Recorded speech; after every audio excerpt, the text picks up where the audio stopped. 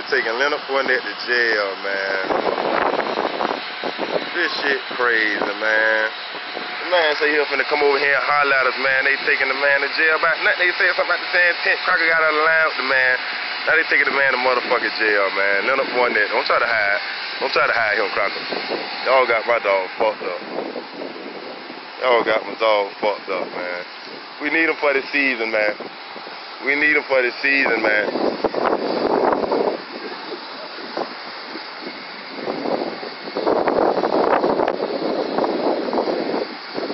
What?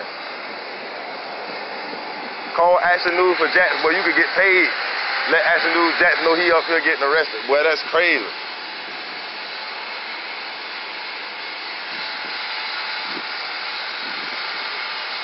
They taking the man to motherfucking jail, man.